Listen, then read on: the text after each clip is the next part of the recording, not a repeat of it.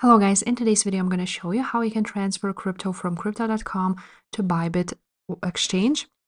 This tutorial will be quick and simple, so make sure to subscribe to this channel and leave a like on this video if you will find this guide useful. I will also leave a sign up bonus for Bybit in the description for you to check out. Um, now, once you are on crypto.com and you want to withdraw cryptocurrency from here, uh, you want to go ahead and choose a cryptocurrency you want to transfer. So I'm just going to go ahead and click on my Ethereum just like so. And then I'm just going to click on the at the bottom where it says ETH wallet.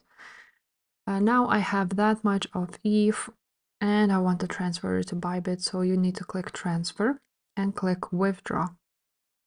After that, you will have all of these options. You want to choose external wallet and on wallet address, you want to click add wallet address.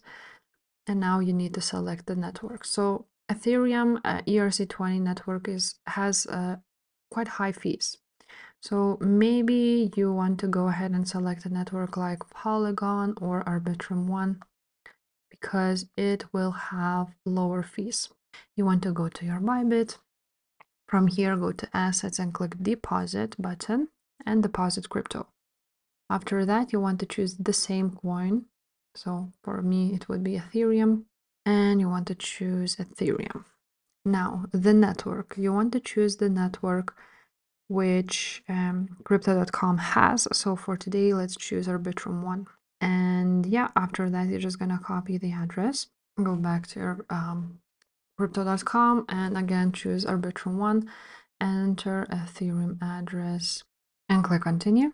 Now you will see this option, do you trust Swiss wallet? But basically you will, you're gonna click just yes, I trust and enter all of those details later. And that's pretty much it. That's how you transfer crypto from crypto.com to Bybit. If this video was helpful, make sure to subscribe and I will see you next time. Bye.